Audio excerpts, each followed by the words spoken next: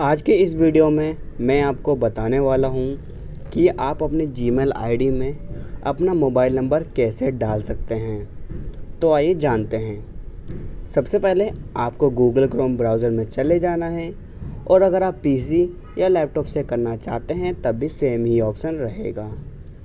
Chrome browser में जाने के बाद यहाँ पे आपको सर्च करना है गूगल और गूगल सर्च कर लेने के बाद यहाँ पे कोने पे आपको एक आइकन बना दिखाई दे जाएगा। आपको इस पर क्लिक कर देना है।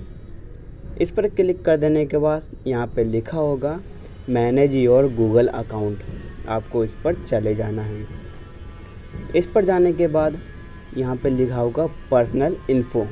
आपको इस पर क्लिक कर देना है।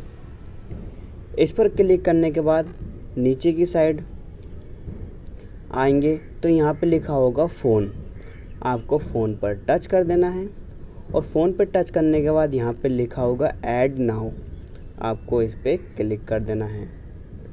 इस पर क्लिक करने के बाद यहाँ पर आपसे आपका पासवर्ड पूछ सकता है तो यहाँ पे पासवर्ड एंटर कर दीजिए।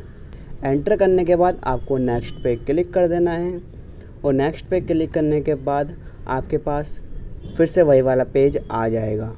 आपको ऐड नाउ पे फिर से क्लिक कर देना है।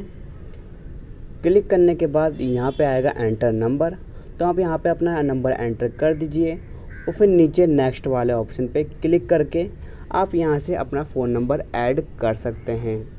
अगर आपको वीडियो पसंद आई वीडियो को लाइक ज़रूर करिएगा।